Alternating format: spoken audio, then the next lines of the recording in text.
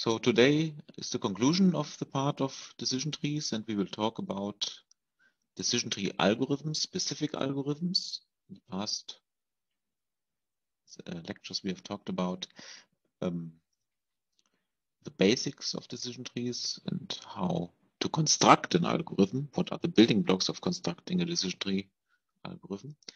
And finally, about decision tree pruning. Just as a quick recap or reminder, basically, not a recap, a reminder.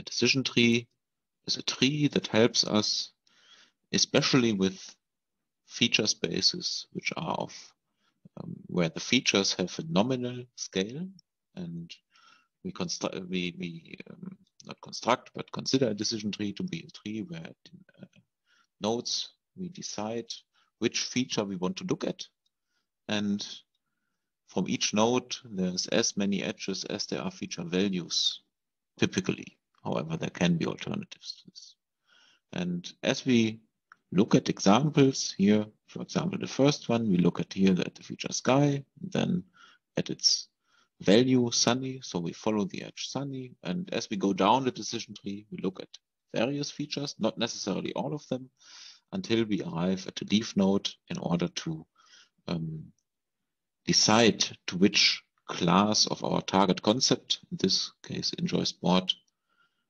the example shall belong to. The decision tree is constructed based on examples. And what it basically does is it splits the feature space into ever smaller parts based on the features we look at at each node. And once we are in a situation where we can make a decision with a high confidence, for example, when only examples remain in the part of the feature space, somewhere below, somewhere uh, within or near the bottom of the decision tree, which have exactly one class or a vast majority of one class, examples from one class, then we say this is the class that we want to assign. A decision tree not only splits the feature space, it also, by extension or by definition, also splits the example set, as we can see here exemplified in a generic way we have the root node and which encompasses the entire example set. We have the first level of the decision tree here, a binary decision tree, dividing the example set into two and so on until we arrive at leaf nodes, which can be at various heights of the decision tree, dependent on the purity of the nodes. We have situations where nodes are not necessarily pure with regards to whether there are only examples of a single class or multiple classes. And the big question with constructing decision trees is, should we continue here or should we stop and remain with uh, this decision here, even if it is not perfect? You've learned about the generic construction algorithm, which basically most decision tree construction algorithms follow. It goes in five steps. We start with building the first node, assign the label due to some selection heuristic, which, for example, could be the most frequent class which is found in the input example set. We check whether we want to continue, for example, by checking whether the node is, uh, the example set is impure. We select a criterion, basically a feature from the feature space and if we want to continue to split and then do the splitting of the example set and proceed recursively by adding child nodes to the created node. Otherwise, if you want to stop, the node is just returned. You have also learned about how to decide which decision tree among alternative decision trees to prefer. And we've given you a number of basically criteria also to measure, for example, the size of a decision tree. And one of the criteria that we thought might be beneficial is the weighted external path length, which basically conveys by the numbers that we see here, how complicated are the rules by which most examples are decided. And here, although visually the left tree seems more complicated than the right one, in the left tree, more examples, three instead of uh, just two as in the right tree. Three examples are decided by a shorter rule. We prefer shortness as a rule of um, by adopting basically uh, one of the one of the fundamental rules of science called Occam's razor and say that of many alternative decision trees in our case, which might explain our target concept, which might help us decide our target concepts, we prefer the simplest one. And the weighted external path length gives us an easy measure of simplicity. You've also learned how to evaluate the effectiveness of a decision tree, for example, by calculating the misclassification rate. And this strongly depends on which labels we assign to leaf nodes. And as I said before, one rule is to assign that label to the leaf node um, where let me go back to the visualization. We assign that label to the leaf node from that class of which most examples remain in a split of the example set. We also do so at higher, at inner nodes of the decision tree in order to, um, yeah, this is basically technical reasons, um, which we will see in the construction algorithm in a minute. The second part, or the second unit, you have learned that in order to construct decision trees based on the algorithm template that I've shown you here.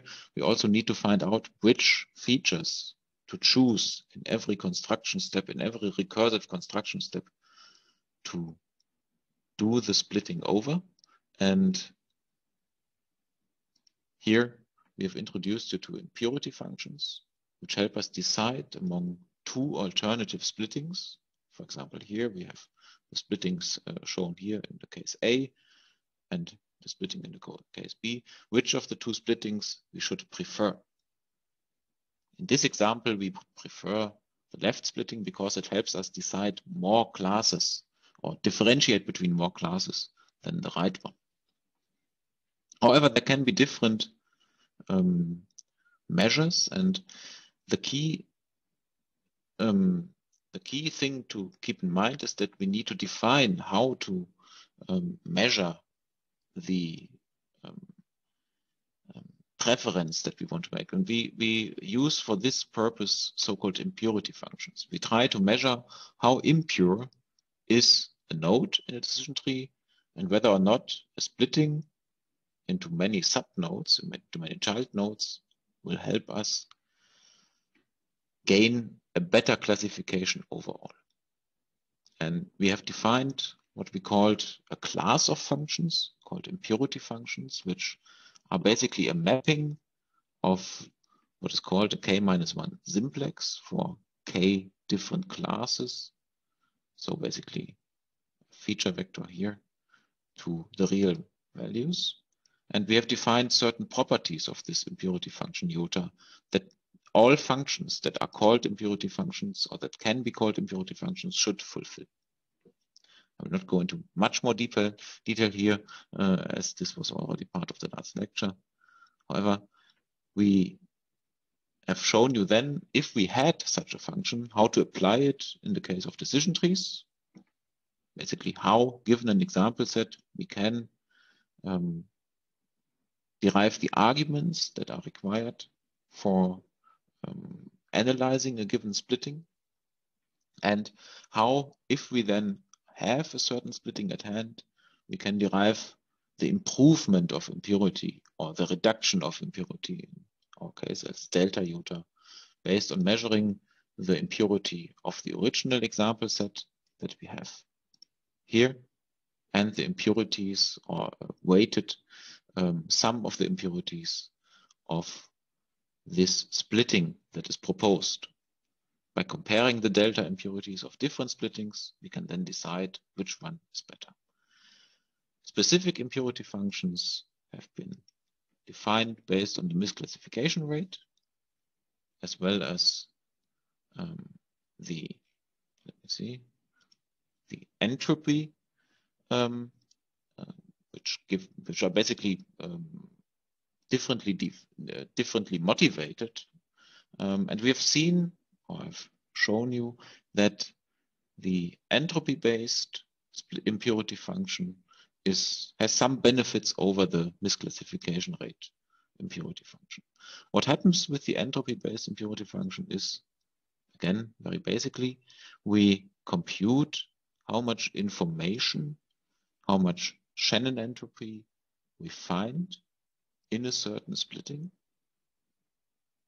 And then we go on to compute the gain of uh, the, uh, the, the gain of information we get by applying a specific splitting as compared to um, uh, the original splitting. Just like in this example, just like with delta impurity, we look at the entropy. Oh, let's look at the other example again. Look at the entropy of this node as compared to the weighted entropy of this splitting and thereby gain an idea of what um, of what we of what we learn by looking at a certain feature. So this is all very abstract. I will go back to an example here to make it a little bit more clear what the entropy basically or the um, conditional entropy basically tells us is how the probabilities of an example belonging to a certain label, here yes or no, change when we learn something about the example. So for example, if we learn that this example has for its feature value sky, the value sunny, then the likelihood of that example belonging to the class yes for the target concept enjoy sport or to the class no for the target concept change based on this knowledge. And this is basically what is encoded in the conditional entropy in the information gain measure that we apply. And that is the basis of this impurity function. Now, in this unit, we will look at a specific decision tree algorithm. And since you have now learned all the basics and all the building blocks we can construct based on the information gain, the ID3 algorithm. It is one of the most widespread algorithms, one of the most basic algorithms, uh, not widespread anymore. Uh, there are more advanced versions of the ID3 algorithm that are nowadays in use, although the ID3 algorithm forms the basis of those which are nowadays in use. For example, the C45 algorithm or the C5 algorithm. It has been invented by Quinlan in 1986. And the basic setting just as a recap, is the familiar one. We have a feature space comprised of a set of feature vectors or represented by a set of feature vectors X. Most of the feature vectors are nominal or we expect nominal features. We have a set C of classes and we have a, an ideal classifier lowercase c which maps the feature space to the classes. So all examples from the feature spaces are mapped to their corresponding class. However, as usual, we do not know what the ideal classifier does or what this mapping looks like. All we know is a set of examples D, where for n examples, we are given the actual classification that might be there. There might be errors in here, though, so it might be that we have an incomplete or inconsistent knowledge of the ideal classification. And our goal is to use a decision tree to approximate this ideal classifier based on the knowledge we find in the example set. The ID3 algorithm has two key characteristics. As I said before, we expect nominal features and the ID3 algorithm always splits according to all feature values of a certain selected nominal feature A. So if we go back to the introduction, to the basics, and look at the different measurement scales that can be there, um, we see that we have always an M-ary splitting with regards to a selected feature and with regards to all to the domain of the feature, which range which might have m different values. There are different ways of splitting, but the ID3 algorithm always chooses this kind of splitting. And the criterion by which we select the feature A we want to use for a certain split is the information gain criterion that I that we just uh, recapped.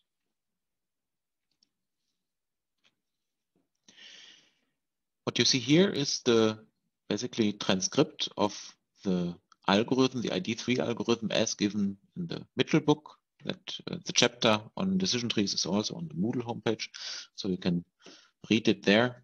And we have given you this um, um, uh, rendition of the algorithm in natural language because it is perhaps a little bit more accessible than looking at pseudocode directly. The um, input to the ID3 algorithm is basically a set of examples, D, a set of features, namely the features which are still available in this, uh, which, which are still open to be split over, because if we are already, as you know, we make recursive calls of the ID3 algorithm, um, we uh, might have already used a feature previously, so it does not make sense to use it again. Therefore, this feature with every this set with every recursive call gets smaller. And we have the target concept, which is basically always constant um, and consists of the possible labels uh, that we could assign. In this rendition of the algorithm, we consider only two labels, binary concept and uh, the labels are positive or plus and negative or minus. Now, the starting point of the algorithm is again the creation of a new node for the decision tree and the assignment of a label to this node based on the most commonly found value in the target class here. Uh, the most commonly value of the target class in the example set. And if it then turns out that the um, example set is pure, it consists only of positive or of negative uh, examples, either way, um, then we just return that node with that label that has been assigned. If it turns out that no features are left, meaning that we have already used all features in a path, in the path in the decision tree that we are currently at, then we basically also return uh, the decision tree as it is as a leaf node. There cannot be further splits anymore. And otherwise, we choose from the feature set the feature A star based on our uh, on our um, information gain criterion and use that to um, continue the construction of the decision tree. The feature is assigned to the node. Like if we look at the example here again, this is the feature that is going to be assigned to the node. And for then, for every possible feature value of that feature, we add a new tree branch which corresponds to that feature. So we add a new edge, which is labeled basically with this feature value that we are seeing that uh, we, we, have, we, are, we go through in the for loop. We construct the, or we, we um, um, extract the subset of the example set, which where all examples have the feature value A for the feature in question for A star and then we make a recursive call of the ID3 algorithm using the subset of the example set, the subset of the features minus um, the feature that we have that we are now that we have now assigned to the new node and maintaining of course the target concept because it is basically always constant. Should we find that the example subset is empty, then we go directly ahead instead of doing another recursive call and create a new leaf node and assign it the target, the most common value that is currently in the uh, in the um, uh, that's that is that is that is the current most common uh, target value in the currently uh, viewed example set as a default. And this goes on recursively until such time when um, the recursion stops and we then just return the nodes and basically this uh, is then uh, when we when the back propagation not the back propagation but when the when the when the um, last uh, or the first recursive state ends this node would then be the root node of the decision tree compare this with the algorithm template that we have seen you will see that these five steps are more or less um, found here again. Not exactly, and uh, so this is why there are many different kinds of decision tree construction algorithms. So it is not exactly the algorithm template. However, um, the basic steps can be immediately identified. For more rigorous um, rendition of the algorithm here is a pseudocode version of the algorithm, which corresponds a bit closer to the algorithm template. Creation of the node, labeling of the node, um, and checking whether the node is pure.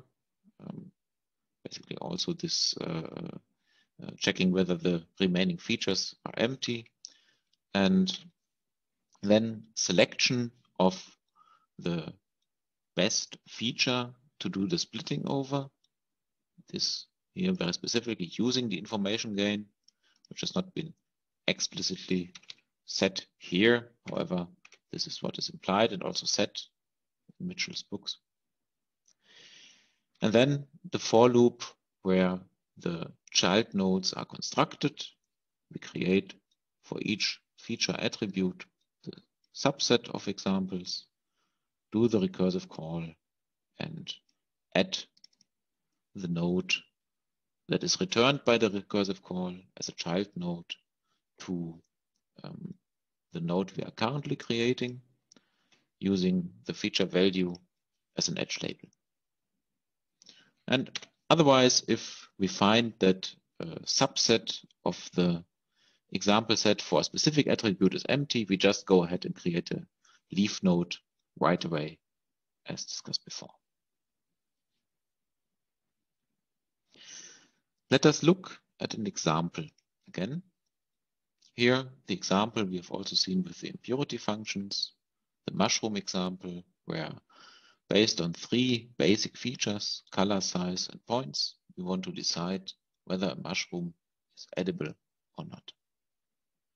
One, one example of a mushroom which is not edible but toxic, and four examples of mushrooms with different feature um, values for the for the three features, which are all considered edible. So consider that we are now at the top level of the ID3 algorithm, and we now want to decide which of the three features we want to use for the splitting. Since we are using the information gain, we look at all the different features individually and then calculate the information gain obtained if we if we were to split the example set over the particular feature in question. Here, I show you the example for the um, feature color. Excuse me, I have to drink something.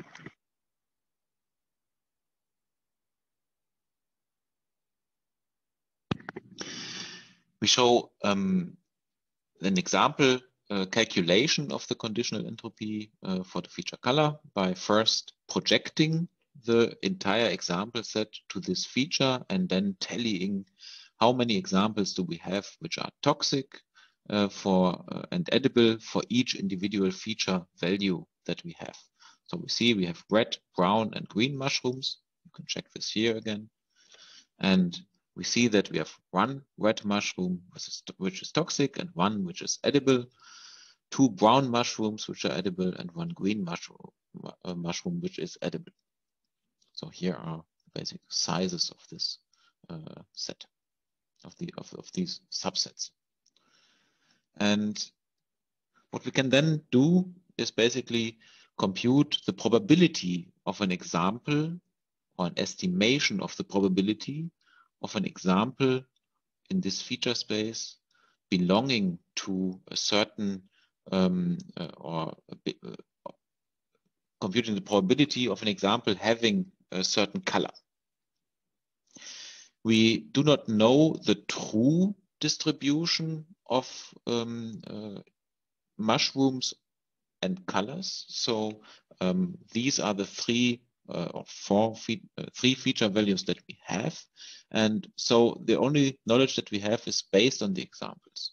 So what we do is to estimate the probabilities, we use just the ratio of red examples compared to all examples and use that as a probability. Same with the brown, same with the green. And this is basically maximum likelihood estimation of um, what is hopefully close to the truth if our selection of examples is representative of the true population of color distribution across mushrooms. Now we can compute the conditional entropy values for the color by just plugging in the um, values into the formula as shown here, as exemplified here. Um, you can double check, of course, um, here with the formula um, but it is pretty straightforward. And we obtain a conditional entropy for the um, color of 0.4. We do the same for the other features, size and points, and we obtain an approximate 0.55 for size and again 0.4 for the points feature. Now, Usually what we want to compute, or as I have, as we have introduced it, we want to compute the delta impurity in order to find out what is the impurity reduction. Uh, let me go back here. No, it's not here. On this slide, it's a little bit earlier. We compute the delta of the impurity of um, um, the impurity of the original example set and the impurity of the splitting. And we do so by, when using the information gain, uh, no, I'm skipping, I have to skip here. Oh, no, even a bit later, sorry. Where is it? I think it was here, yes. If we want to compute the delta impurity using the uh, entropy-based impurity function, we compute basically the Shannon entropy for the original effect and the conditional entropy for the splitting, and then take uh, subtract one from the other. Um, however, since this value is the same for all different possible um, feature values that we can look at here, um, we can basically omit this. Usually we want to maximize the impurity reduction, but we can reduce this, saving a, couple of computations um, by uh, minimizing the um, conditional entropy simply. And therefore, if we were now to make a selection based on the conditional entropy alone, we would then either select the color or the points as possible splitting criterion for the first node. Since both has the same value, the selection is more or less arbitrary and uh, we can go ahead and just select one of them. All of this, which I've just said, is also written here, so don't worry. Uh, you don't have. You can just read it up later. So this would give us then the first, um, the root node of the decision tree with the two labels, possible labels yes and no, um, from our target concept and the respective subsets of our example uh, set corresponding to the points feature if we select the points feature for our root node um, here. And we see that on the right-hand side of decision tree, all um, the nodes have the same target concept, the same label here. They are all edible, regardless of the differences here in the feature values. On the left-hand side, we still have an impurity, meaning we have one example here which is toxic and one which is edible. And therefore here the splitting goes on as per the ID3 algorithm. Martin, there was a question in the chat. Could the information gain be negative? Mm, no, I don't think so. No, there is a monotonicity here. So we gain information or we gain, if we gain no information, the value stays the same. Uh, gaining no information means that um, uh, uh, the splitting that we have, so if we go back to the visual example here, just a second, um, let me see. Uh, if the splitting that we have has basically the same distribution over all splits, or the weighted splitting uh, uh, uh, comes out to be the same value. So then we gain nothing. And then the information gain is basically zero. Otherwise, we will obtain a delta iota um, of larger than uh, zero.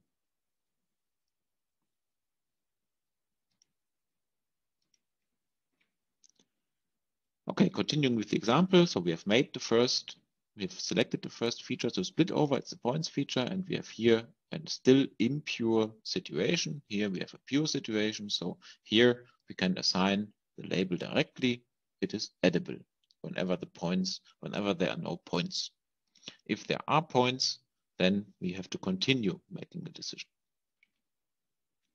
And this is then basically what happens next split the next feature. If you do the math, uh, you will find that uh, the color can be used as an uh, or should be used as the next feature to split over.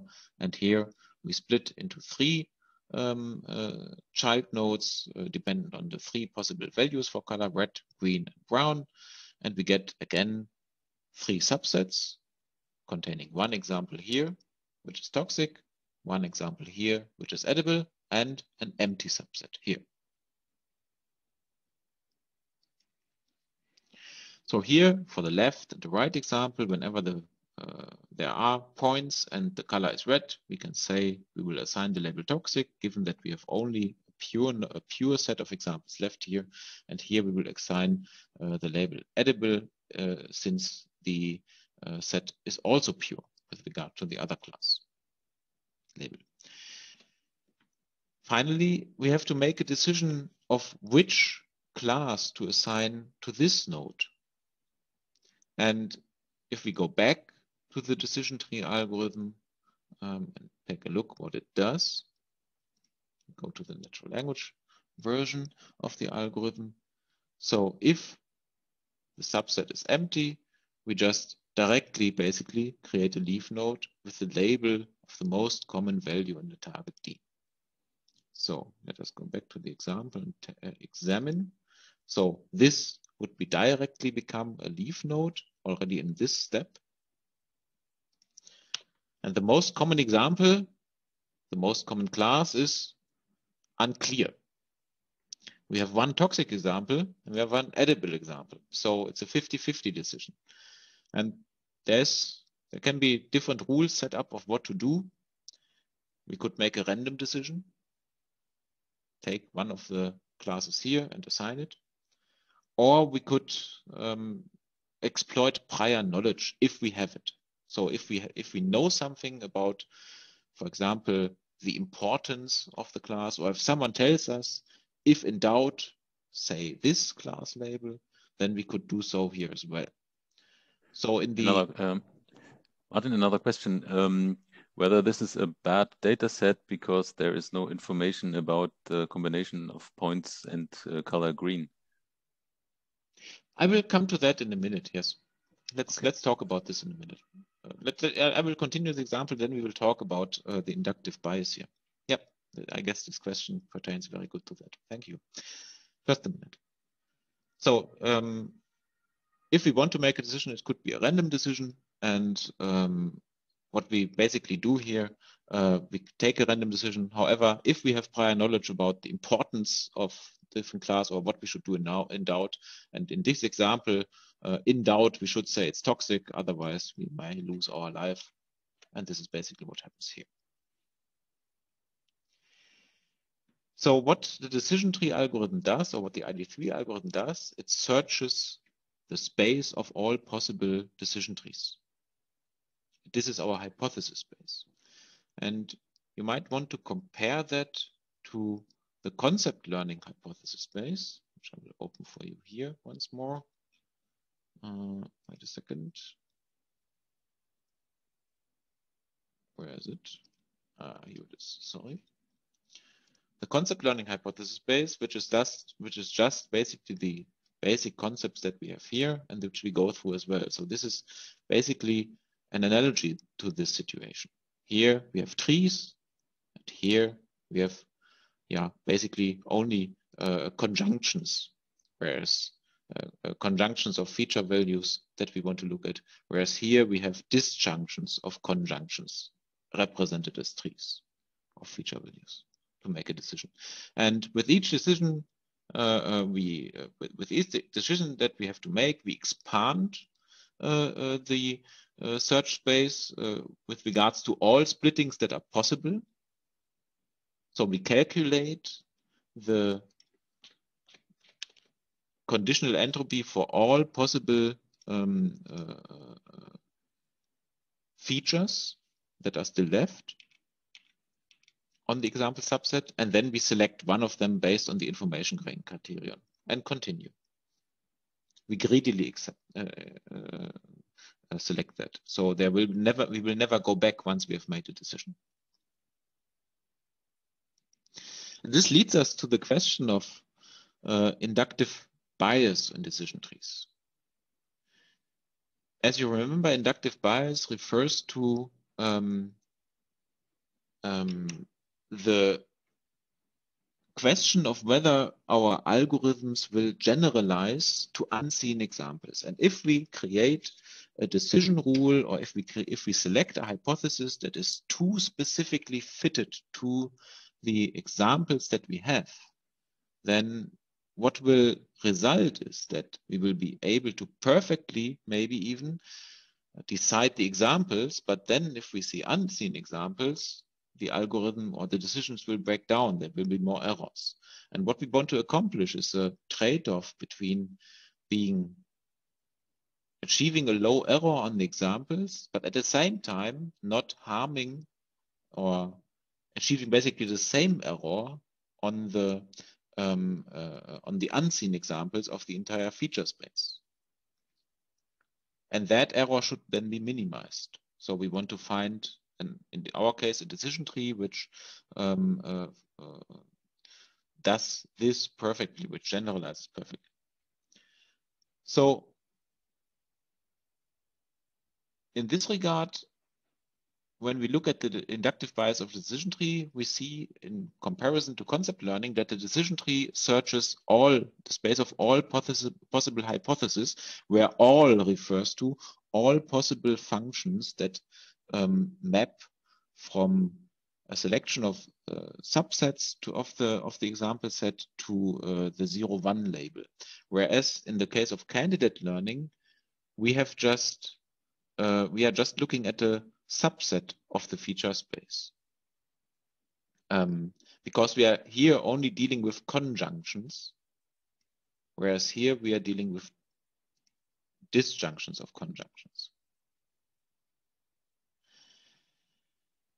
And basically, if we then go through the search space, as I said before, we make, we, we um, create all the variants here, or we at least look at all the variants of decision trees at the same level in the search space, um, dependent on the decisions we make before. Then we make a decision based on the information gain criterion and we follow this decision.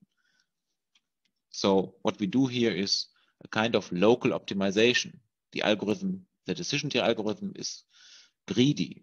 The uh, decision tree is selected greedily. And since we are doing local optimization, despite the fact that we are searching through the entire space of possible hypotheses, because we make a locally optimal decision, we may miss a global optimum.